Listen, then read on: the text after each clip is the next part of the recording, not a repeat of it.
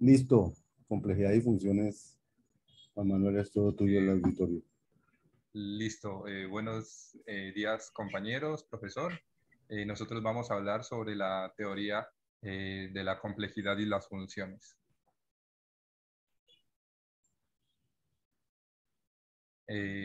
la teoría de complejidad y funciones se basa sobre la ciencia de la computación, que son bases teóricas de la información y de la computación.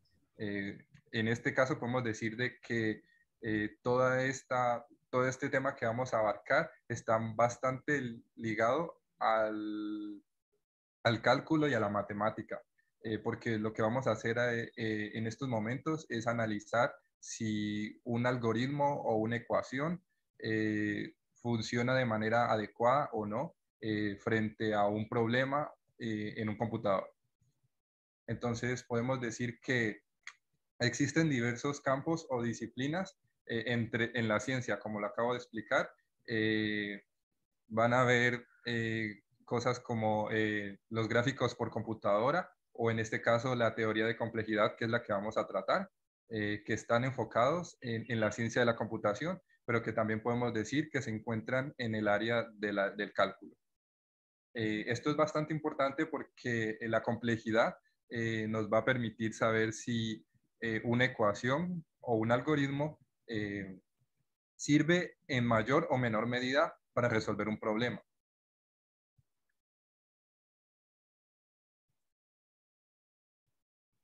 Bueno, como acabo de decir, esto se centra en clasificar cada uno de los algoritmos o problemas en la cantidad de recursos temporales que se va a usar por medio del computador. Podemos decir de que eh, habrán dos tipos de complejidades que vamos a ver más adelante. Eh, por el momento, eh, por el momento voy a decir de que tenemos los campos relacionados con la teoría, que son en el análisis de algoritmo, que se va a encargar de estudiar el tiempo y el espacio requerido para la ejecución de un algoritmo. Y la teoría de la computabilidad, que lo que hace es analizar eh, los problemas a ver si se pueden resolver con un algoritmo.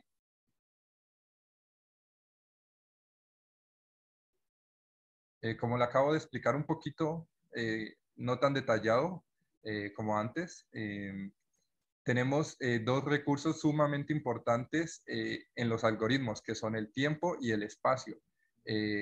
Claramente en el computador, ¿no?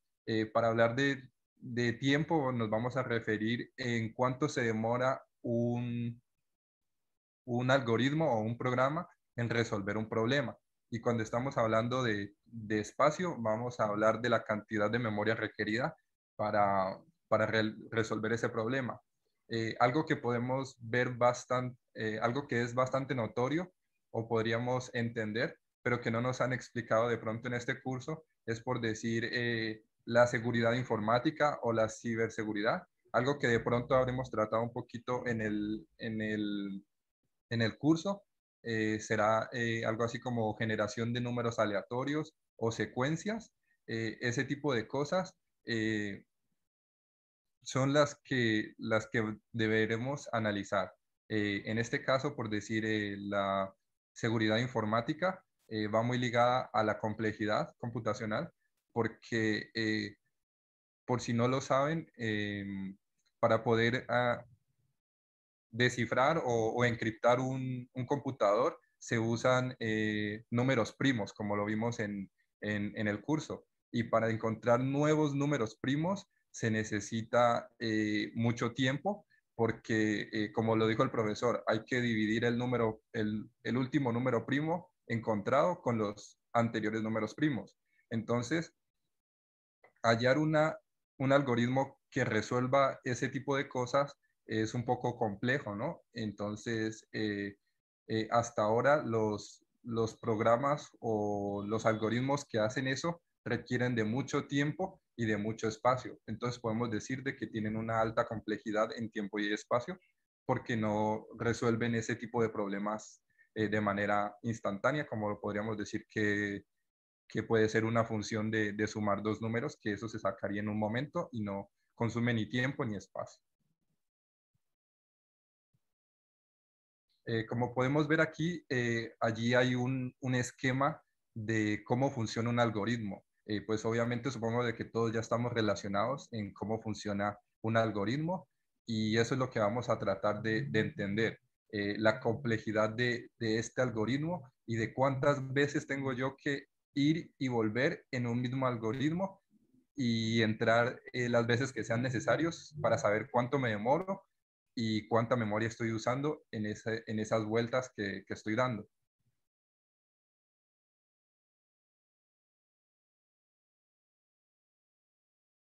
Eh, ahora voy a hablarles sobre eh, P y NP. uno de los problemas de la, de la complejidad y de las funciones es el P y NP, que podemos decir que eh, ya vamos a llamar al conjunto P eh, a, los a los problemas que se pueden resolver en un tiempo razonable polinómico. Y vamos, a perdón, eh, vamos a llamar NP al conjunto de problemas que no se pueden resolver en un tiempo polinómico. Y vamos a llamar P al conjunto de problemas que se pueden resolver en un tiempo polinómico. Es decir, que los problemas P son los que eh, se pueden resolver en un tiempo razonable, por decir unos 15 minutos, unos 10 minutos, y podemos decir que eh, en NP se van a encontrar los problemas que no se pueden resolver en un tiempo razonable. Como lo acabo de explicar, eh, la seguridad informática, encontrar un número primo, todas ese tipo de cosas se van a encontrar en NP. También también podemos decir que eh, más adelante que eh, los problemas que se encuentren en P van a estar agrupados en NP, pueden encontrarse en NP, pero los problemas, eh, pero los que pertenecen a NP no necesariamente pertenecen a P. todavía no se ha podido comprobar si los problemas que pertenecen a P, a NP, se van a encontrar en P. vamos a, con la notación Big O que es uno de los pilares más importantes eh, dentro de la complejidad de, eh, y el análisis de los algoritmos. Eh, esto es un marco, por decirlo formal o teórico, de cómo identificar si un algoritmo es o no complejo mediante el tiempo y el espacio que se requiere para su uso, ¿no? Entonces, dentro de la notación Big O, lo que vamos a hacer es poner al programa en las peores circunstancias que puede tener ese programa para analizar si en, la, en, su, peor, en su peor circunstancia eh, funciona o no. Por decir, eh, eh, si, a un número le, si a una función le pueden entrar 50 números, queremos saber qué pasa si se ingresan los 50 números. No si le ingresan 25, no si le ingresa 1, no si le ingresan 10. Siempre vamos a querer encontrar eh, el mayor problema. Por eso se llama Big O, porque eh, se encuentra, es, lo que queremos es encontrar eh, el límite superior de lo que, del problema. Dentro del Big O vamos a tener distintas clases que voy a detallar un poquito más adelante y vamos a ver un video también sobre qué trata las distintas clases del Big O. Dentro de las clases del Big O se clasifica como O1 a las funciones que son constantes, a las funciones que le entra un número y siempre se va a demorar eh, un minuto, cinco minutos, le entre un número o le entren 20 o le entren 100. Eh, por lo menos aquí tenemos eh, O logaritmo de n, que es una función con complejidad de tiempo logarítmica. como dice aquí, básicamente significa que el tiempo sube linealmente mientras que n sube exponencialmente. Así que si se necesita un segundo para calcular 10 elementos, tomará 20 segundos para calcular 100, 3 segundos para calcular 1000 y así sucesivamente. Entonces, eh, podemos ver esto relacionado en árboles binarios o en búsquedas binarias, que entre, entre más elementos, mayor tiempo va a tomar, o entre más tiempo, más eh, elementos van a ser eh, recabados tenemos ON, que es una función lineal. Va a crecer linealmente, es un poco parecida al constante, pero va a crecer de una manera eh, ascendente lineal o descendente lineal. Tenemos eh, la función O n por logaritmo de n, que es una función con complejidad de tiempo linealítica eh, que se ve comúnmente en los algoritmos que ordenan listas y vectores. Eh, por ejemplo, aquí tenemos unos ejemplos de eh, unas funciones que lo que hacen es organizar listas o vectores. Merge sort, team sort, head sort. también tenemos o n elevado a la a, donde a tiene que ser mayor que 1 y es una constante. Es una función con complejidad de tiempo polinómico. Eh, el método de ordenamiento conocido como burbuja, bubble sort, es un gran ejemplo de complejidad de tiempo polinómico o, elevado a la n al cuadrado. Eh, ya que para cada valor debe compararse con todos los demás valores de la lista hasta que lleguen eh, a los algoritmos que pertenezcan a P. Y por último tenemos O2 elevado a la n. Es una función con complejidad de tiempo exponencial su crecimiento se duplica con cada adición al conjunto de datos de entrada. Eh, este tipo de complejidad temporal lo vemos en el cálculo recursivo de números Fibonacci o el de, eh, o el de Hanoi. Eh, también tenemos la notación ON factorial. es una función con complejidad de tamaño de tiempo factorial. El crecimiento, como lo dice su nombre, es factorial. En función al tamaño de los datos. Como podemos ver aquí un ejemplo, eh, que si tenemos 1 factorial va a ser 1, 2 factorial van a ser dos números, eh, dando un resultado, 3 factorial va a ser la multiplicación de tres números y así sucesivamente, dependiendo del número.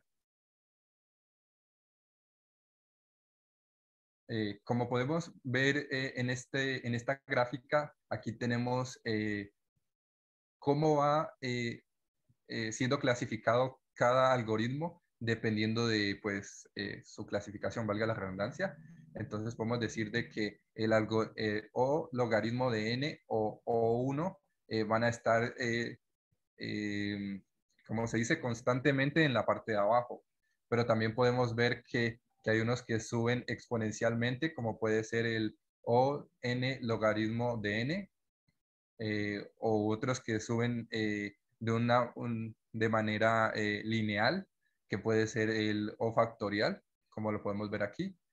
Y aquí nos dice eh, qué tan complejo puede ser y en otras palabras, eh, qué tan feo puede ser. Por decir, aquí podemos ver que dice horrible en rosado y excelente en verde, que pocas funciones pueden estar en verde, que serían las que se encuentran en O1, y O logaritmo de, n. Y, así, de esta manera, se va clasificando eh, cada uno de las, eh, las eh, algoritmos. De esto, pues supongo que vamos a hablar un poquito más en, en FADA, más adelante cuando, cuando tengamos tiempo para verlo.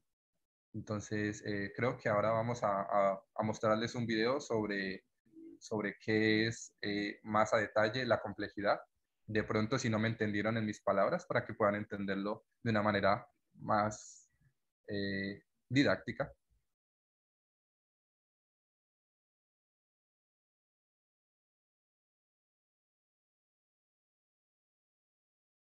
Llevamos 13 minutos, vamos bien el video de cuántos minutos es. ¿Es el que ustedes subieron? De profe, sí. Eh, bueno, pero ese ese, venga, ¿por qué no? Ah, es, con ese video está ahí disponible, desde antes de mostrarlo. Eh, me gustó mucho las, diapositivas. Me gustaría decir unas cositas a medida, si las podemos ver, Daisy, otra vez, qué pena contigo.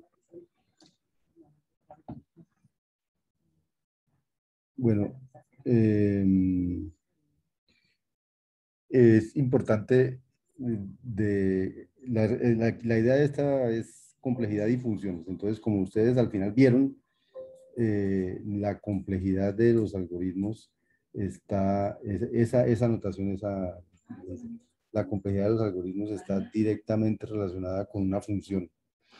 que una función en el tamaño, una función en el tamaño de, de las, en, el tamaño de la entrada. Entonces, eh, entonces, uno dice, ahí dice que excelente es O log n o de 1.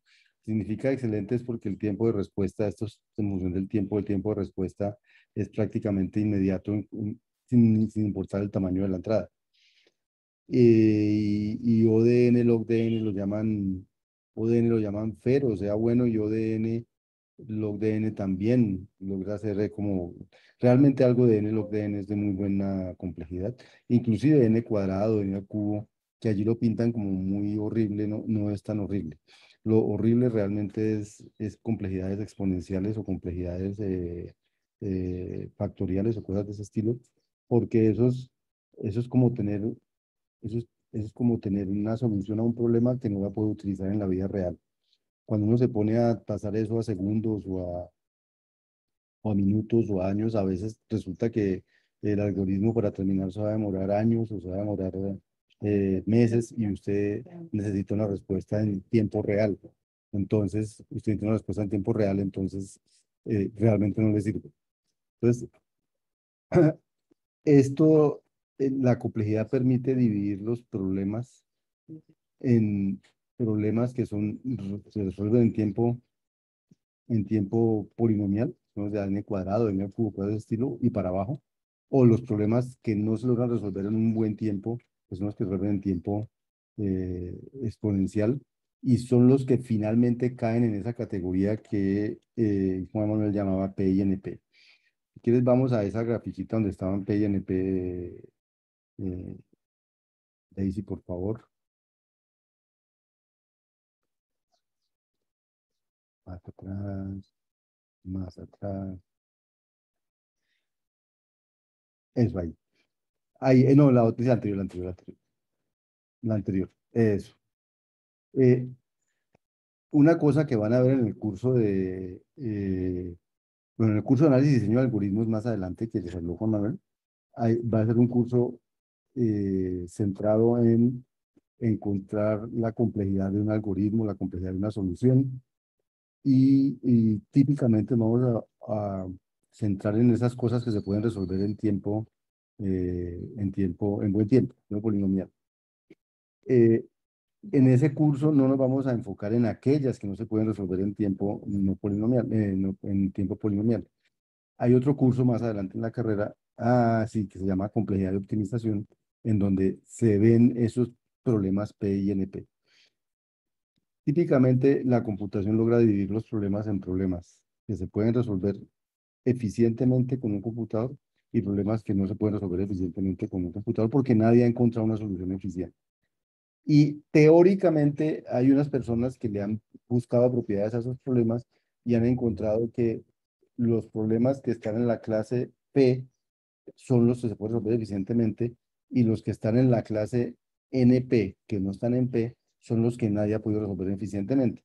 Entonces terminan diciendo que esa caracterización teórica corresponde en la práctica a la dificultad de encontrar soluciones eficientes. Pero a esas, esas, eso no es una prueba, sino es una, se llama una tesis.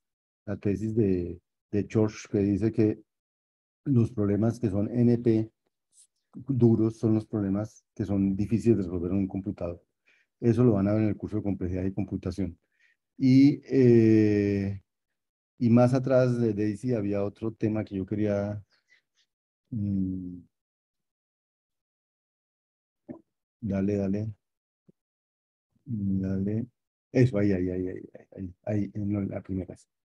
Entonces, todos estos conceptos que están hablando aquí son conceptos de ciencias de la computación. Entonces, en el curso de matemáticas discretas 2, el próximo, ustedes van a ver, eh, van a ver eh, eh, unas máquinas que llaman autómatas, autómatas de estado finito, autómatas, y de pronto tal vez van a haber máquinas de Turing, no, no estoy seguro si logran alcanzar máquinas de Turing, creo que sí.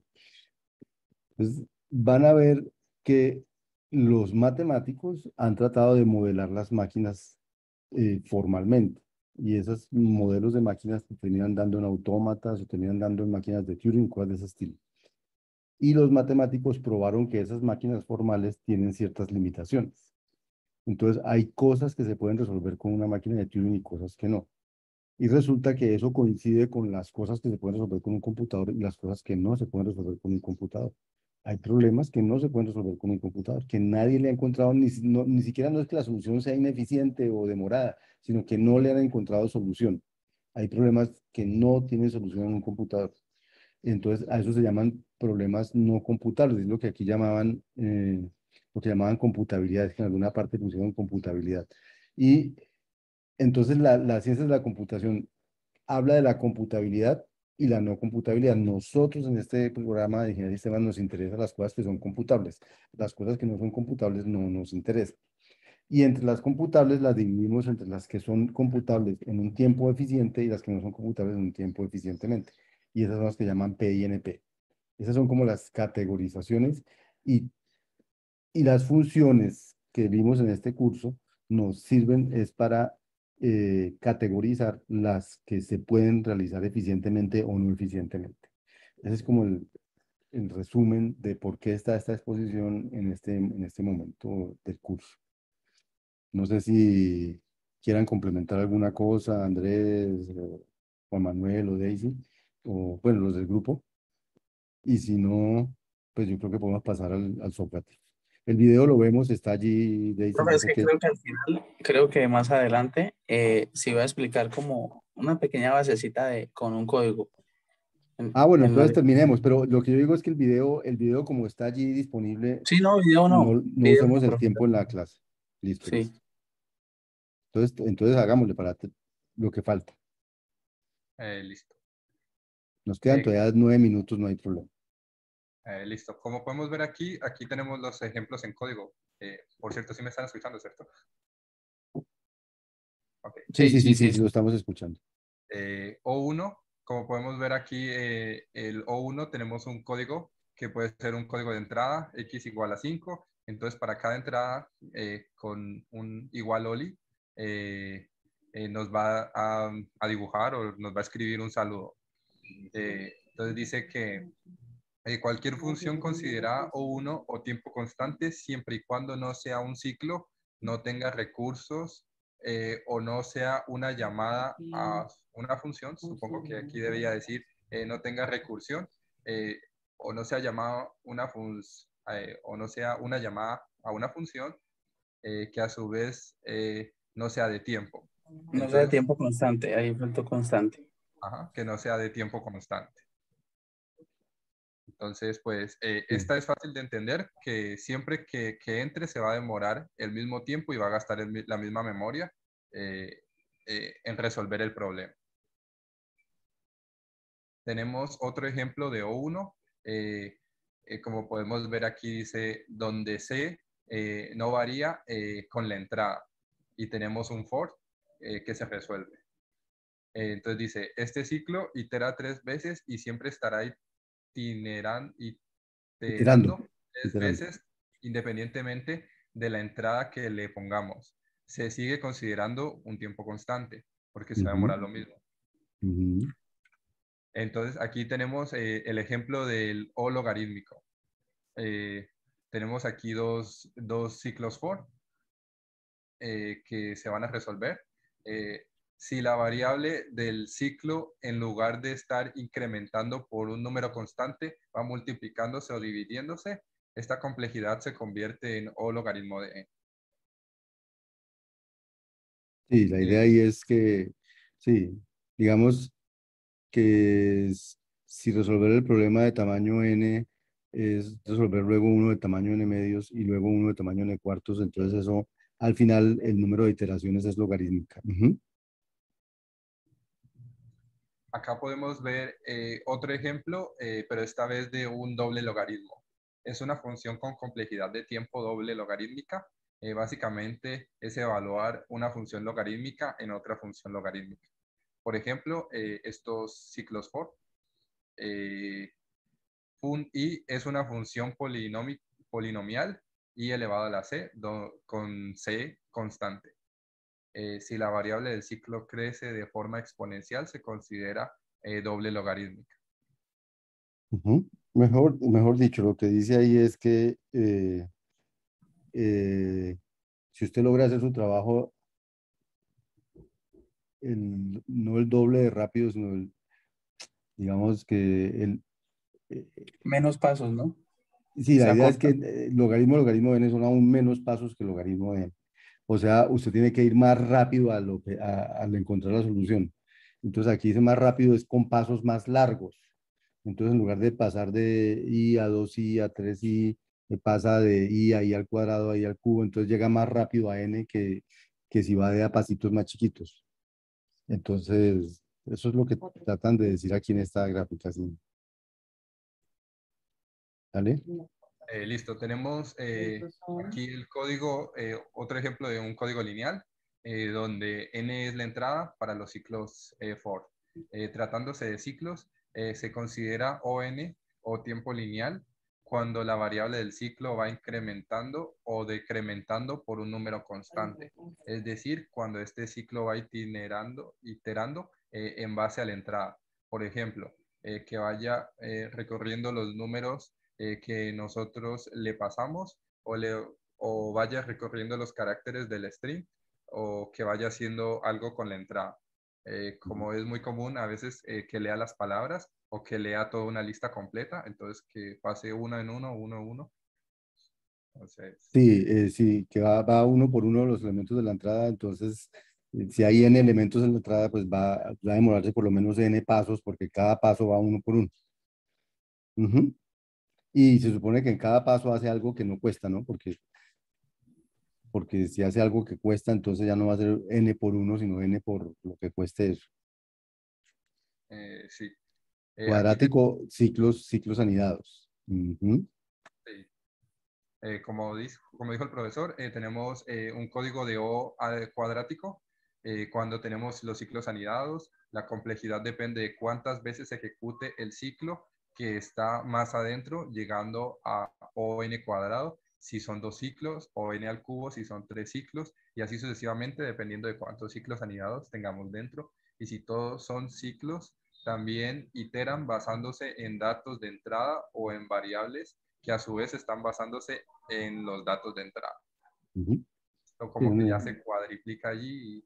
Exacto, se, exacto el, el, trabajo se se, se, crece con, con n por n, no, no, no 2n o 3n, sino n por n que da n cuadrado o n por n por n que da n al cubo. Cuando vean el curso de FADA van a ver bien de detalle esas cosas, pero digamos que los ciclos anidados son ejemplos de cosas que son costosas de n cuadrado. Eh, pero bueno, también van a ver técnicas para ver cómo disminuye uno ese tipo de cosas.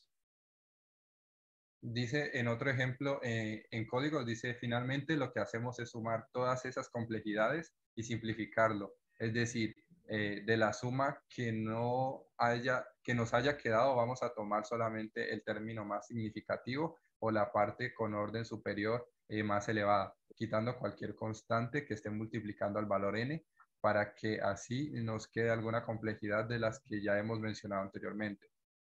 Eh, pues eh, lo que estás tratando de explicar aquí es que, eh, por decir, entender de que n, a, que n cuadrado, pues va a ser la suma de, de 2n cuadrado más n más 2n más n, algo así creo que es. es, que, es que el, el, n cuadrado, la notación o, la notación big O que mencionaron ustedes, lo que dice es, bueno, ahí puede que haya una cosa que cuesta n cuadrado, otra que cuesta n, otra que cuesta 5. Cuando yo sumo todo eso, todo eso está finalmente eh, eh, acotado por n cuadrado, por 18n cuadrado, por 50n cuadrado, por alguna constante por n cuadrado. Entonces yo puedo decir que eso es de orden n cuadrado, porque al final lo que uno le interesa saber es de qué orden de complejidad es, no cuál es la complejidad exacta, ni cuánto se va a demorar exactamente en cada caso. Entonces, para eso es que se usa la notación Big O. Eso es como cuando nosotros lo decimos que vamos a redondear un número, entonces ese, así lo pusimos en la síntesis. Uno redondea, aquí lo que uno busca es, digamos, el, el, el tope donde uno dice, por ejemplo, pongámoslo con una silla. La silla aguanta hasta 50 kilos. no nos sirve decir la silla aguanta más de 50, porque aquí ese más no nos, no, nos queda como que, sí, pero ese más cuánto es. Entonces lo que hacemos aquí es listo, tenemos este código y lo que se hace es sumar. Entonces ya vimos, por ejemplo, eh, se, se, clasifican que el for, ya lo vimos que lineal n y está eh, aquí en, en, digamos, entero actual n. Se me olvidó el primero, como es una declaración, entonces de tipo o, de uno y así las empezamos a, clasificar. Entonces, por ejemplo, nosotros vemos que este while está metido dentro del for, ¿sí? Entonces, ese quedaría O de n al cuadrado, igual la que está acá adentro también, y este también. Entonces, se suman, digamos, esto nos da 3n al cuadrado más 4n más 1. Entonces, como queremos saber cuál es el orden, digamos, sí, superior, ahí sería O de n al cuadrado. Ese es un ejemplo como sencillo que quisimos traer aquí. Obviamente se van a ver cosas más complejas. Eso, se, va a llamar, se va a llamar complejidad del peor caso. Eso, exactamente, sí. Y ahí finalizamos, por favor. Muy bien, no vamos a hacer un, no vamos a hacer un... ¿Y el Sócrates por ahí está? ¿Sócrates? Exposición 12, se llama. Entran a la sala exposición 12. Sala exposición 12. Sí. Cortico es el nombre que sale ahorita.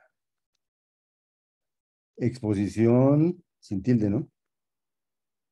12. Sí, exposición 12. Igual ya mira yo también acá. Ah, sí, ya está lanzada. Muestra a ver qué nos preguntan aquí.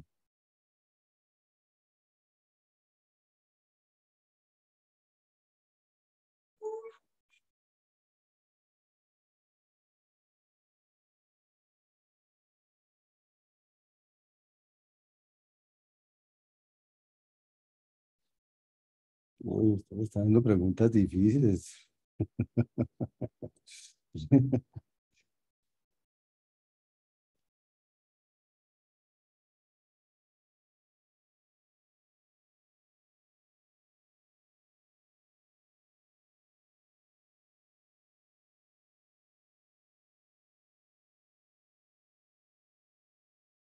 ¿Cómo me fue?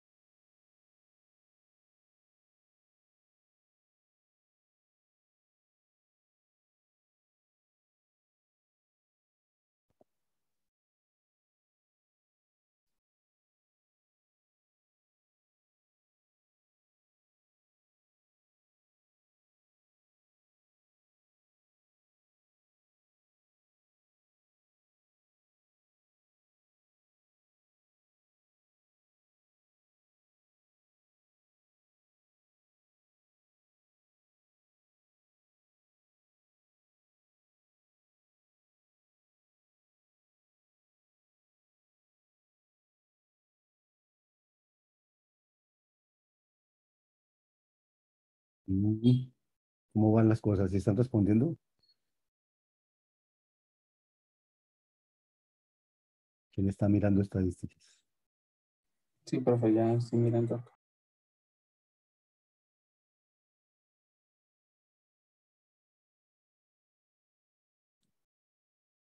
no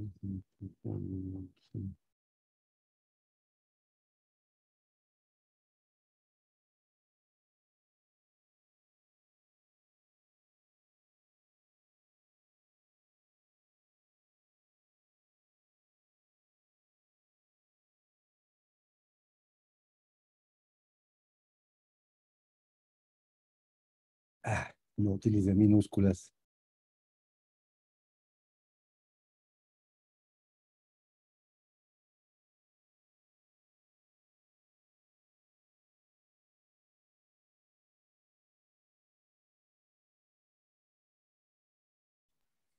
Profe, ahí puse más o menos como el resultado.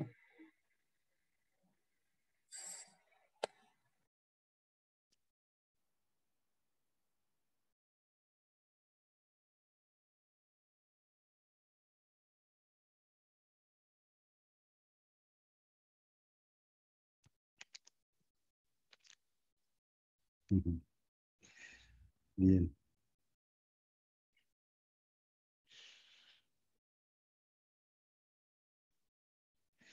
Bueno, muchachos, muy bien. 8 y 52, creo que hemos terminado ya con esta exposición.